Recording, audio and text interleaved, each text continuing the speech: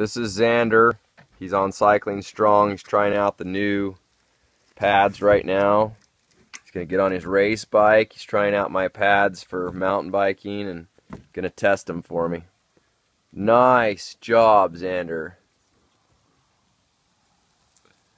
Here we go through the fence. The pads are working so far and very nicely. He, wow, tests them out right there at the end. And how do you feel? Did the pads save you? Yep. Nice.